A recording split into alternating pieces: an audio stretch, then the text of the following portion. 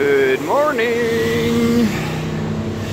Another fine day in Gothenburg and here comes another one of my little silly videos where I talk about stuff that I'm basically just making up as I walk along. And what am I making up today? Well, I am formulating an opinion on iOS development versus Android development. Woo! And I'm not actually talking, like, just to be clear, this is not one of those, oh, which one is better, I like an iPhone or an Android phone, like none of that stuff. It's just uh, basically my experiences working as a developer for both platforms. And I've been doing that for a few years now. Well, not not full time, but enough to actually formulate an opinion. So let's start off by the, with the things that I really like about both platforms. So let's let's talk a little bit about iOS and iOS development. So a few something that I really like because I, I'm like I'll be upfront. I've never used Objective C. I think it's a god awful language that has so little syn uh, where like the syntax is absolutely horrible. It's very unapproachable in my opinion. But Swift is amazing. It is absolutely amazing. I love that language so much. It is really great. There are a few things here and there that I think is that could be better with the but you know that's always the case. But overall, top notch. Swift is uh, like if if you're do, starting Android, uh, iOS development today, you need to use Swift. Please use Swift. It's really great. It has some so, ideas so great that I actually think that if uh, we have, if we sat down today and picked a new corporate language, this would be the language, or possibly Kotlin. Most more likely Kotlin, but it they're so so similar that it's almost they're basically interchangeable apart from you know of course the underlying tech that is running the stuff. However i do think that there is uh,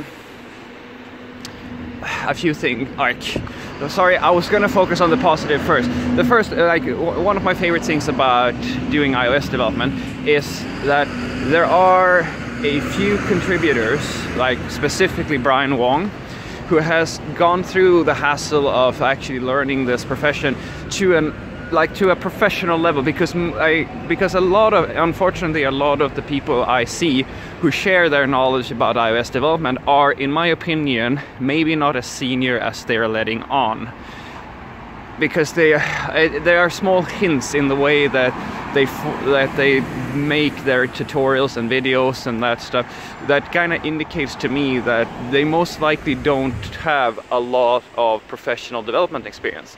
Brian does, I can tell. Or, or maybe he's just a genius, I don't know. So that's a big plus to have someone like that in the community. You might think that's a silly thing, but when I, when I first started out, I mean, it was it was rough. Like I didn't really understand anything, and like he really helped me to understand iOS development at like at much much much much much better than I ever had. So what else is really nice? Well, I like the APIs that we have for the phones. Like I really like the idea of traits, being able to work with uh, basically a well, it, it's very nice, like as such imports into Xcode is really nice. You can declare different, like it's very, it feels very natural to declare different dimensions of images. It's a very natural, like a lot of things are you kind of get for free. Like the viewing system, really like that.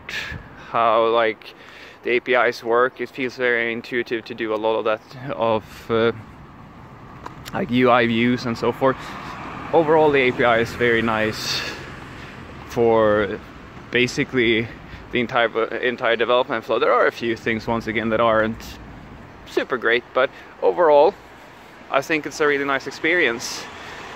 And what else? Yeah, probably I would say that there's a large amount of time being invested in getting Swish, Swift up to scratch with a lot of things that kind of aren't in the platform right now. So it's very nice to see that there's so much active development going on with the language, and then that like that Apple is actually really committing to this language, which I think is great. And then we can talk a little bit about Android. When it comes to Android development, it's Java based, or nowadays it's Kotlin, which I think is Kotlin and Swift are amazing. Like they're so like they're basically the same language. Well, not you know not not really, of course, but they have so many similarities and stuff in common that I'm actually really excited about Kotlin.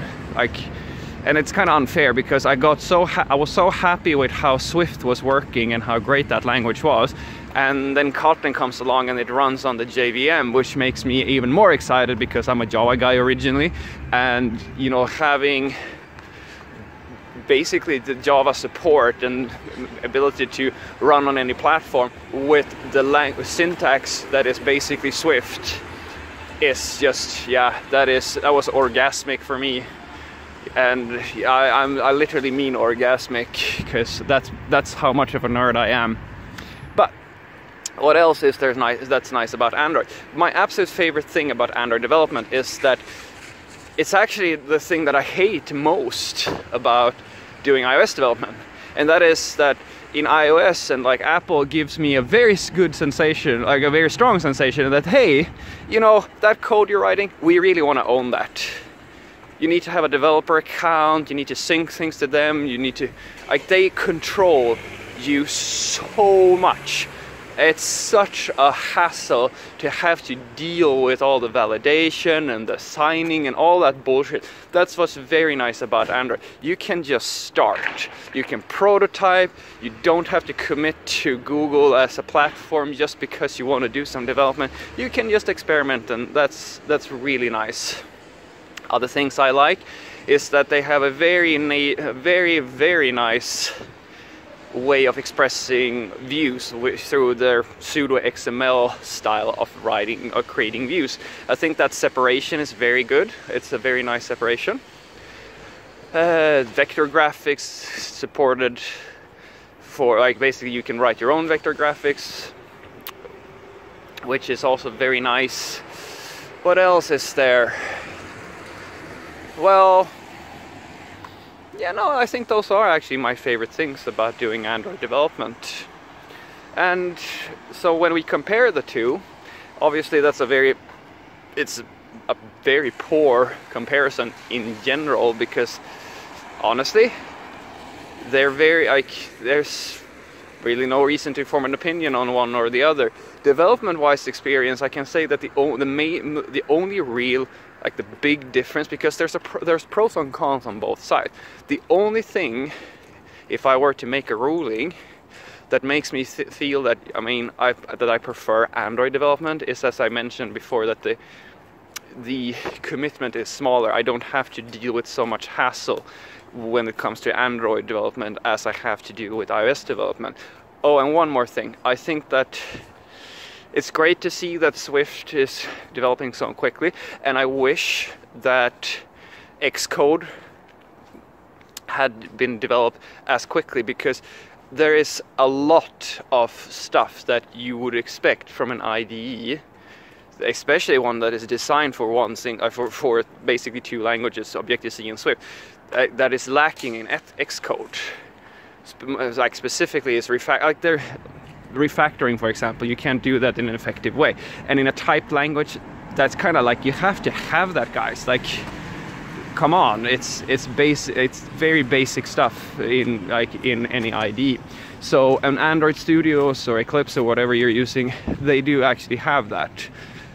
To be fair, they've had a longer a longer time to prepare that sort of stuff, but that's kind of where I'm coming from here. If I have to pick one, I would go with Android development but you know if unfortunately like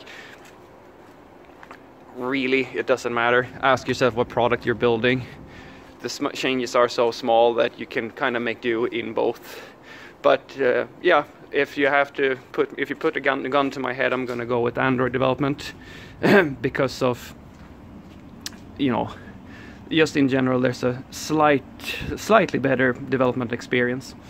Yeah hopefully you enjoyed my little rant about iOS development versus Android development.